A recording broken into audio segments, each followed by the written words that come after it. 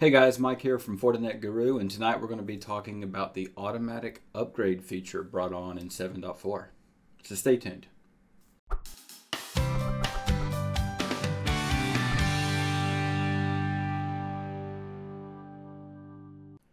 Alright guys, so we've all been there. You have too many FortiGates to keep up with, too much going on between Patch Tuesday with Microsoft, patching all your FortiGates, your FortiSwitches, and all that stuff.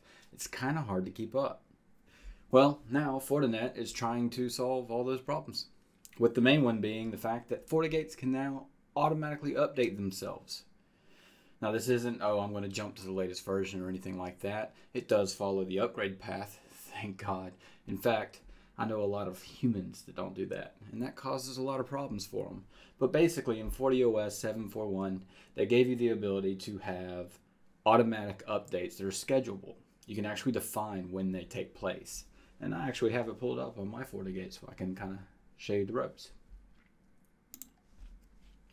So if you look right here, this is under Configure System FortiGuard. Config Sys FortiGuard. You have, where'd they go? These little buddies right here. Why is this important? You're able to, one, turn on automatic firmware updating, which, you know, I probably wouldn't do this on a firewall that if it goes down overnight, you're in big trouble. Like if you're running a 24 7 operation, you probably want to stay away from this.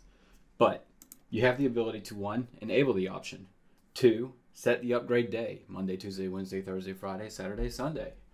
Uh, the actual upgrade delay, so you can delay how fast it takes place. And then, of course, the start hour of the whole thing. So if you want it to happen at 1 a.m., 2 a.m. of said start day, that's how you set that.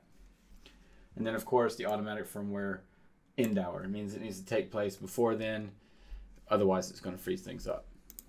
So, why is this beneficial?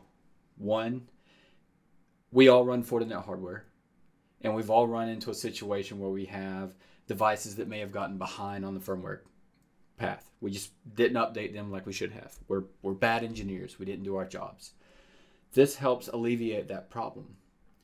Um, obviously, like I said, you want to keep that on devices that are going to be more lower rung, but it really pays dividends for you because you're in a situation now where all these crazy zero days or vulnerabilities or CVEs that are coming out, you're not wasting all of your time running through the pecking order to make sure you get all of your devices updated across the fleet. If they're lower level branches, you let them do themselves on Sunday night before Monday morning. Um, I mean, that kind of seems like a win Obviously, if you're a big data center, don't do it. But for lower end branches, I'm having a hard time understanding why you wouldn't these days. So, anyways, automatic firmware updates. Fortinet's listening on some of the feature requests that we're actually putting in, and it's putting us in a pretty good position to actually be a little bit more efficient as engineers, right? There's a bunch more, whole bunch more new features that are in 741 that I'm actually pretty stoked about. We're going to make videos talking about those over time. But for now, automatic firmware updates, guys.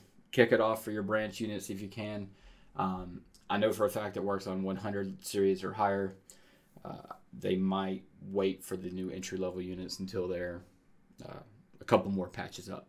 So, anyways, do me a favor, hit the like button, subscribe if you haven't.